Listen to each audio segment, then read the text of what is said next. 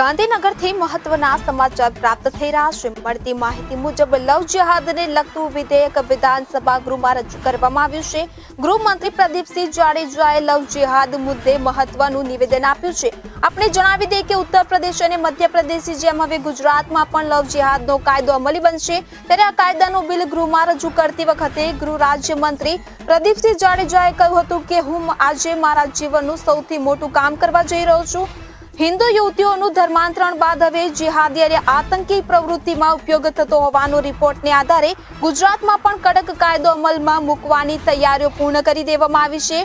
તો ખોટું નામ બતાવીને હિન્દુ યુવતીઓ સાથે લગ્ન કરનારાઓને હવે ખેર નથી. તો એક કલાક સુધી પ્રદીપસિંહે ગૃહમાં બિલ રજૂ કર્યું હતું. તો આપણે જણાવી દઈએ કે લવ જિહાદના બિલમાં બળજબરીથી ધર્માંતર કરનાર પર પ્રતિબંધ મુકાશે તો ધર્મ પરિવર્તન ઉપર જે પ્રતિબંધ મુકાશે તો દીકરીઓને જિહાદીના હાથમાં ક્યારેય નહીં જવા દેવાય તેવું પણ તેઓએ જણાવ્યું હતું.